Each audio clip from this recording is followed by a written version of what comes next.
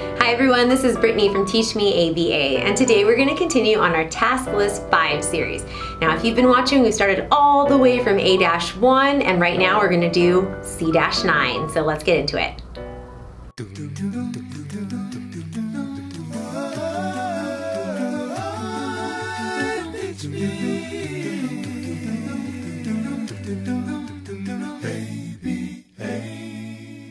Okay, so C-9, we're going to be discussing selecting a measurement system given the dimensions of behavior. Perhaps the most important aspect of measuring behavior within our field is going to be selecting the measurement system that's going to best convey the change in your target behavior, but also how it will be observed and also how it will be recorded based on the fundamental and measurable dimensional qualities that we discussed in our earlier post. So if you need a little bit of a refresher, you can start from C-1. So when we select the most appropriate measurement system, our data provides information that accurately shows how the behavior occurs and hopefully it shows the change within the communities that we serve.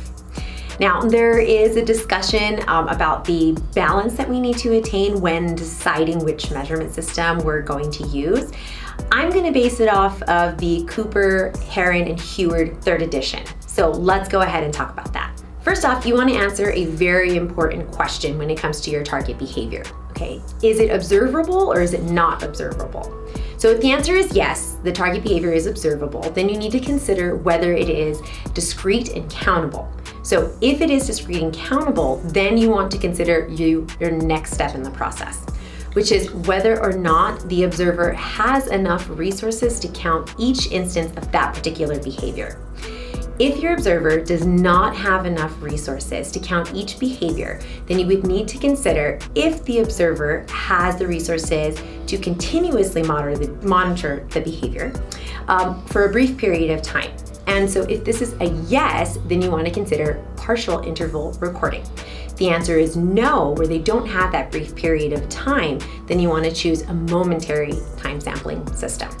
Now, if you don't remember the difference between those two and you want some examples, well, look no further because we actually already made that video for you. That's gonna be C-7. So you wanna go back there and refresh your memory a little bit if you need to.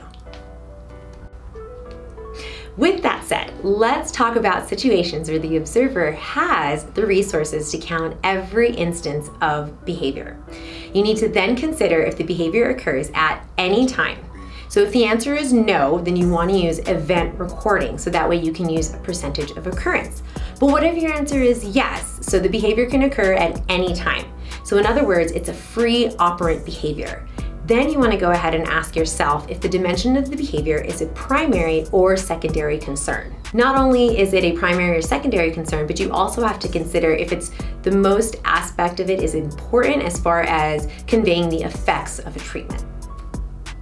Okay, so if you've gotten this far, now we're gonna talk about what happens if you have a target behavior that is not observable, or you have to consider the fact that the behavior does not occur when other people are present. So now you have to consider, does the behavior produce a measurable or physical change in the environment? If your answer to that question is a yes, then you wanna go ahead and use permanent product measure of recording.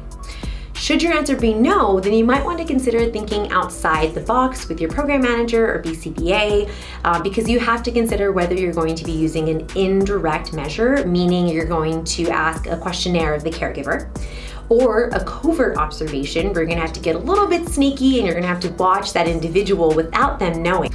Or you wanna consider corresponding behaviors that, have, that you can observe that would help you get answers to that target behavior.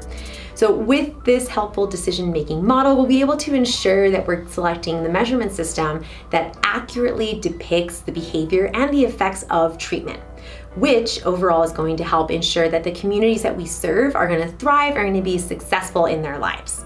So I hope you've enjoyed this. This is C-9. If you have any questions, please go ahead and let, link them below. Um, as always, please like, share, and subscribe, and we'll see you next time.